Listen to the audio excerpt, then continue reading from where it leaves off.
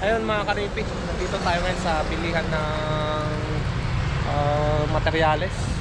Tatanong natin kung pwede tayong bumili ng ano, kahit ilang sakong kwan lang, ah, buhangin sa kasimento. Kakabukas pa lang ata nila.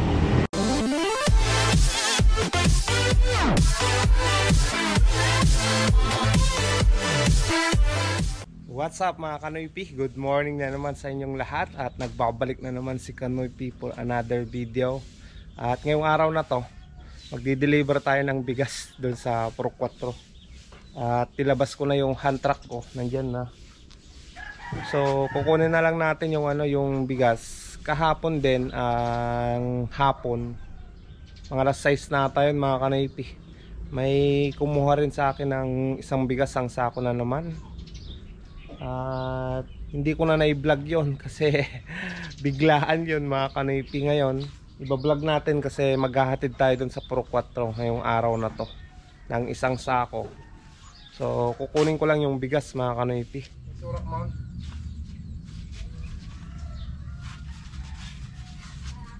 Hmm.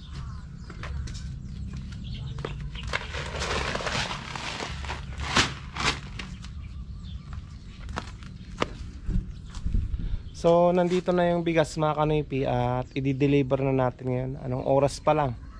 Maaga pa mga kanipi. 6.30 ng umaga magdi-deliver na tayo ng bigas. Ayan na yung i-deliver natin, jasmine rice. Masarap yan na bigas mga kanipi sa mga gustong bumili sa akin na nandito sa Ordaneta. Malapit na bayan dito sa Ordaneta. Pwede nyo akong kontakin at ito nandito yung contact ko, yung Facebook page ko, yung personal account ko sa Facebook at number ko dito ko ilalagay para makontak niyo ako kung gusto niyo mag-order ng bigas. At i-deliver natin yan sa bahay nyo at isasali ko kayo sa video mga kanipi. So yan, magdi-deliver muna ako.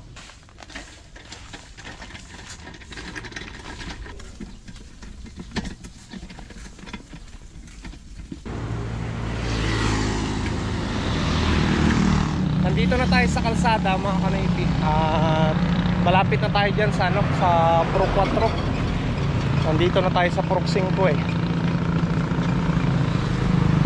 At naglalakad lang tayo Mas maganda exercise din di ba? So punta na tayo. So nandito na tayo sa bahay ni Kuya Iyo At ibibigyan na natin tong bigas mga kanipi Ang yaw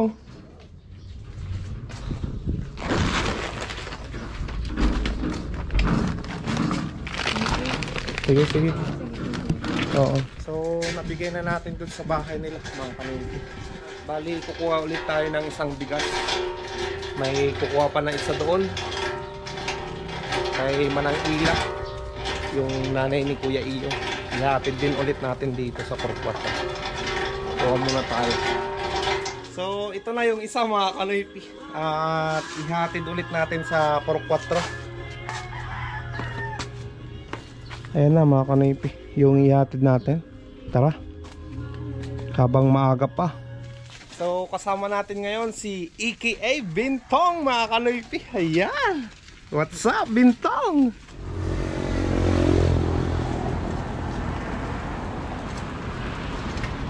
Let's go let's go.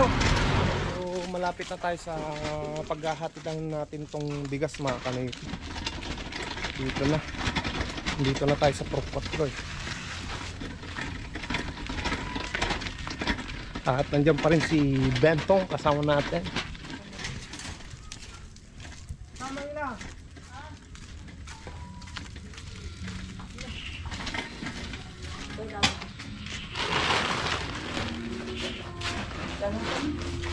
Yan. Dalasan. Ay, mo pa iba? Next. Yan, natin na natin. Kadwa ka ti vlog ni. Shout out. Kadwa ta ta, kadwa ta ta. So nahatid na natin mga kanipi at uwi na tayo. Sige mga ila. Bali, tapos na tayong nakapag-deliver mga kanipi. At punta tayo dito sa may ano, sa may pagtratrabaho dun sa paglalagay ng tiles. Kakausapin ko muna kung ano yung kailangan pa na bilhin. Ah, kanipi. Shoutout kay Maneng. Around! Kukunam. Ayaw! Oo. Nadayo sila ng basketball at dito muna tayo. Puntan muna natin si... Hindi ko alam kung anong pangalan nun mga kanipi. Papakita ko na lang sa inyo. Tatanong natin kung ano yung kailangan dun sa ano. Ah, pagkakabit ng tiles. Hindi pa kasi ako nakabili ng buhangin sa kasiminto. Baka bukas na siyang mag-uumpisa mga kanipi. Kung makabili man ako ngayon ng buhangin sa kasiminto, bukas na yon. Damagag man nung yun, kailangan nung kabiti ko, tiles. Vlogger niya! Vlog ka ba na? So, nandito tayo sa bahay nila. Ya, kailangan dyan manong, nung kabiti tiles. Ay, fluoride. Wayne. Siminto lang ang daro. Siminto lang kandarat. Uring lang. Wayne. Siminto lang daro. Ay, kunya, pino. Pag umatak pa. Dati tiles ko dyan, nakagata ako. Diyan ka mo, uma- umanayaya eh. Talo. Gatang mo, duwa mga box. Talo. Talo. Talaw. Hmm. So, nakausap na natin si Kuya Mike na Kanoypi at sana makabili tayo ngayon ng ano ng semento sa buhangin para bukas maumpisan na 'yon. Saglit lang naman niya gagawin 'yan kasi magaling siyang gumawa mga Kanoypi. At pulido yung ginagawa niya nun. Siya kasi yung nagpalitada rin doon sa isang kwarto, yung kwarto ni rin yan. Mabilis siyang magpalitada. At pauwi na tayo. Kakain muna tayo mamaya pag uwi. Tapos bibili ako ng bukangin sa kasiminto. Sana may bukas na tindahan ngayon. Kasi araw ng linggo ngayon mga kanipi. Tara, uwi na tayo. Ayun mga kanipi, nandito tayo ngayon sa bilihan ng ah, materyales tatanong natin kung pwede tayong bumili ng ano kahit ilang sakong kwan lang ah, buhangin sa kasimento kakabuas pa lang ata nila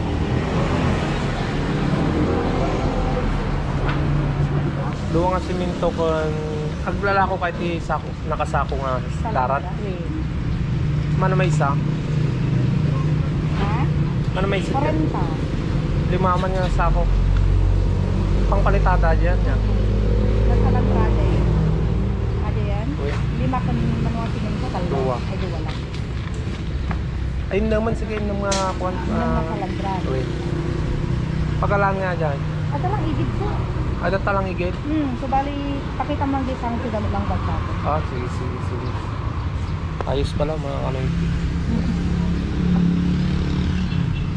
So, meron dito. Buti na lang bukas si ate. Linggo eh. half day ba? Half day. Bali, naka-order na tayo ng dalawang semento, anim na sakong bukangin mga kanoypi na nasa Landra. Ang lilit lang kasi yung kwan mga kanoypi yung nasa Landra nila. Kalahating sako lang kaya 10 piraso yung kinuha natin. Ganyan lang. So, kuha lang tayo ng tricycle na kasasakyan. Duwa nga sako nga ko ah. Nga semento kon tanga pulo kasi na eh. Nga, mga punong Darat. Di ba ito pa yung kuhan? Tanang kaysa lang crook size. Ha? Baka di na kaya ta sa eh. Tagkakagudwa mo lang.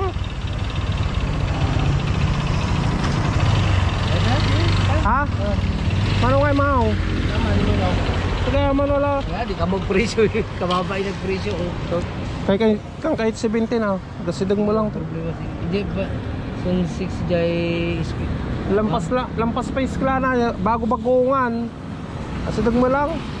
Okay. So yan, nakakuha na tayo ng tricycle mga kanoypi. At kinakarga na nila yung sampung sako na ano na ito nasa Landra.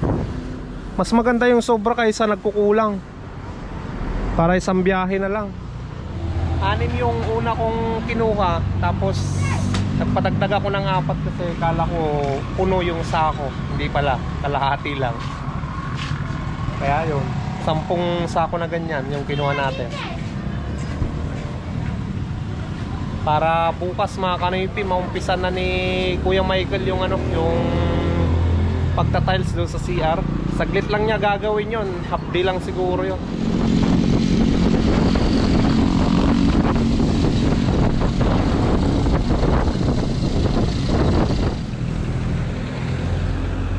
Ayan, baba ko lang mga kanoypi.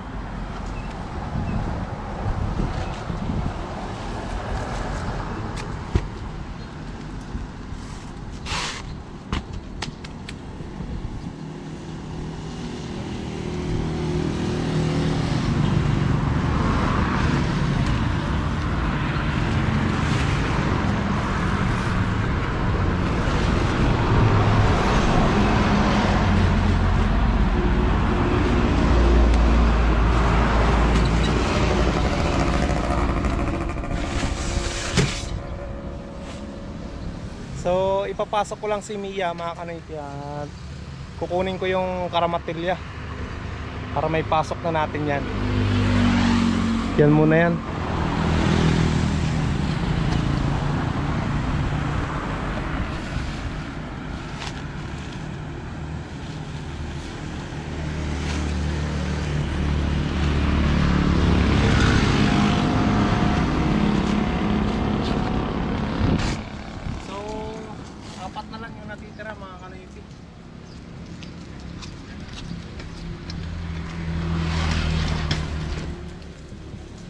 At napasok ko na rin yung semento kanina.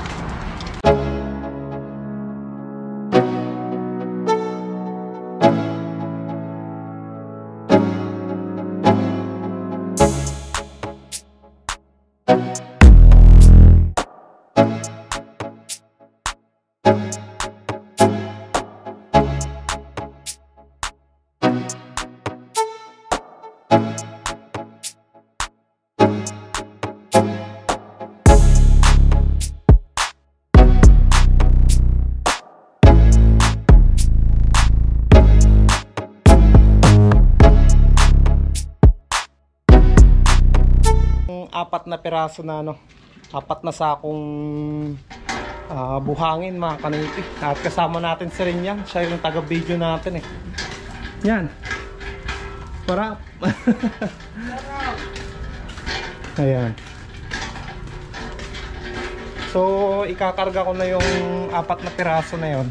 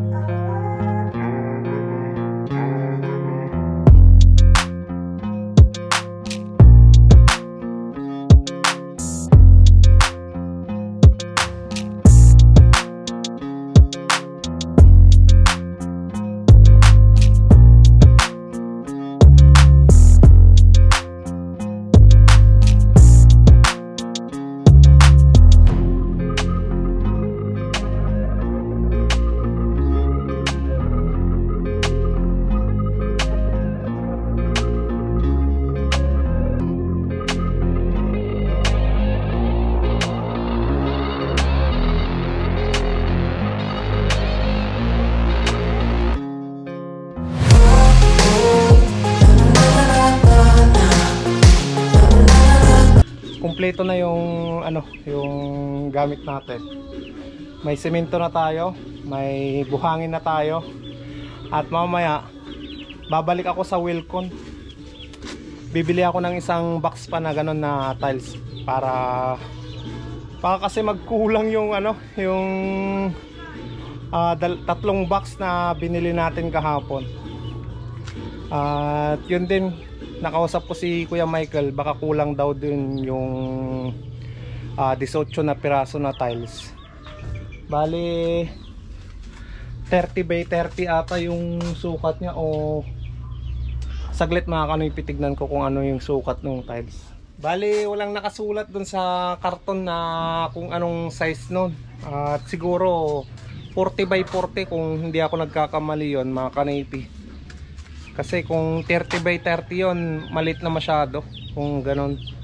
Yon malaki naman siya. Siguro 40 by 40 yung sukat nun. At mamaya, ah, babalik ako sa Wilcon. At bibili tayo ng another anim na piraso. Yung isang box. Bali magkano yun? 400 plus ata yung ano niya yung isang box mga kanoypi so babalik tayo doon bibili ng isang box para ano para hindi magkulang yung ano yung tiles natin para bukas. At hindi naman masasayang yun kasi may may project tayo doon kung may sobra pa.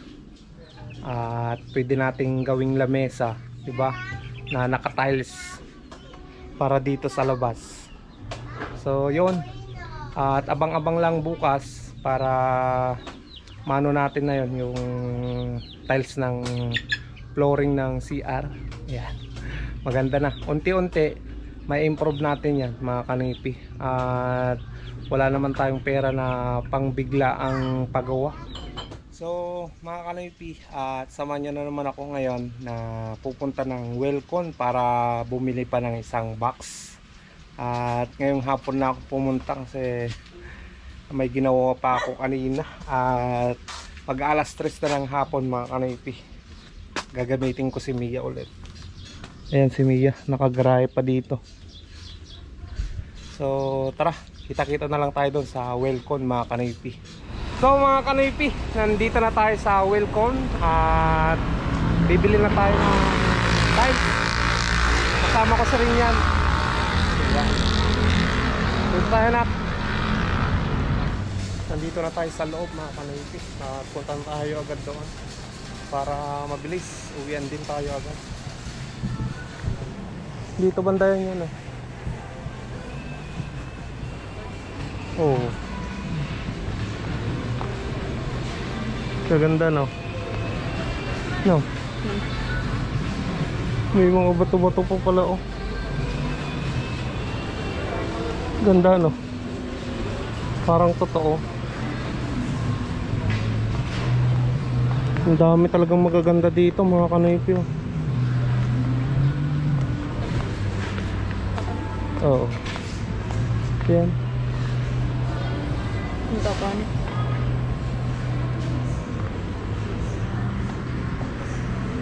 40 by 40 nga talaga yung ano size niya nito mga kanipi. Yan na. Ku- Kuha lang tayo ng isang box. Kuha ko ng isang box lang, ma'am. So, nandiyan na yung sa atin mga kanipi. Antayin na lang natin na ma-release. Ayan, yung isang box.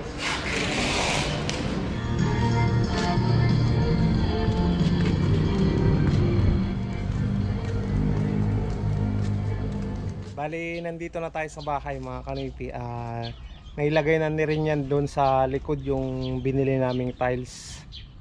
So, maya maya konti, magsha-shoutout na tayo sa inyong lahat at abangan nyo bukas yung ano, yung paggawa dito sa may CR, yung paglagay nila ng tiles mga kanipi. Ayos yun. So yun mga kanipi at nandito na naman tayo sa last portion ng vlog at magsha-shoutout na naman ako sa inyong lahat ng mga solid kanipi.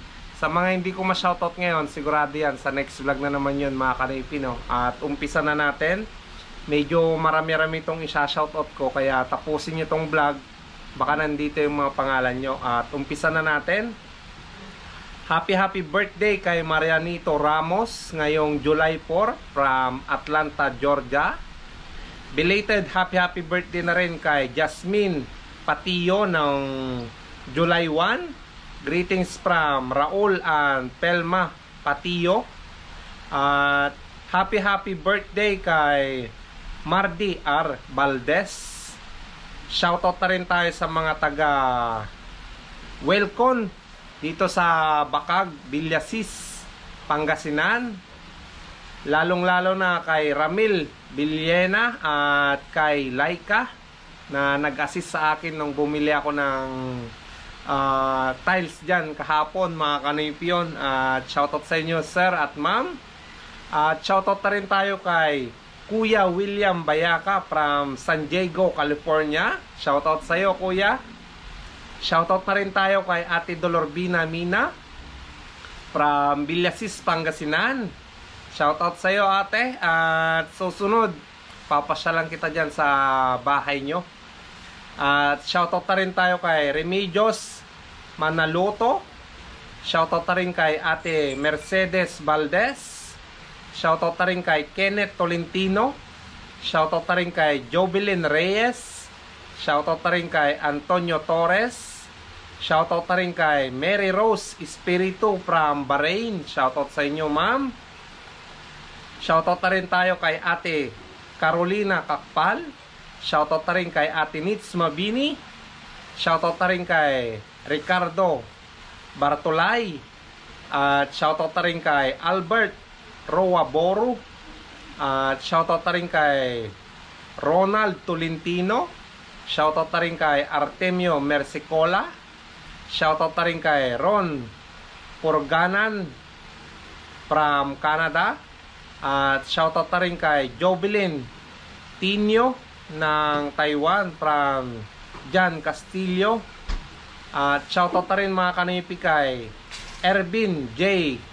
Closa. At shoutout na rin kay Lito Maynigo. Shoutout na rin tayo mga kanipi kay Ate Silvia Mangunon Tubera Valencia. At shoutout na rin sa Valencia family from Shuttle, Washington at Kamanang, Ordaneta City. Shoutout na rin tayo mga kanipi sa mga vlogger din na gustong magpa-shoutout, ma-promote yung kanilang mga YouTube channel. Unang-una yan, shoutout nga pala kay Rich Cabayans Vlog. Shoutout na rin kay Isip TV. Shoutout na rin kay Kalsada Europa. Shoutout na rin kay Kawalwal TV Vlogs. At shoutout na rin kay Perde Anrea. Shoutout na rin tayo mga kanipi kay Jolimar Official. At shoutout na rin kay Yo Vlogs. Shoutout na rin kay Papa Joe Vlogs mga kanipi. At nagpapa-shoutout yung anak ko. Shoutout kay Rinyan, Espanyola.